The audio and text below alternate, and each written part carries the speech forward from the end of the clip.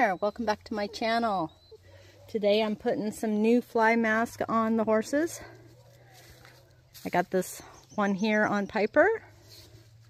It's nice because it has the mesh on her ears and keeps the flies away from her eyes. It also has a little forelock hole up here for her forelock.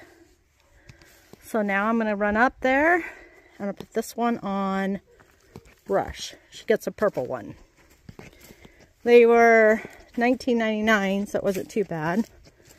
So let's see how this goes. Hey, Rush. Hi, sweetie.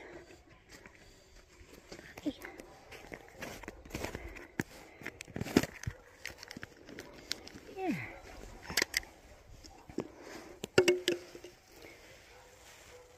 All right, got this one on Rush.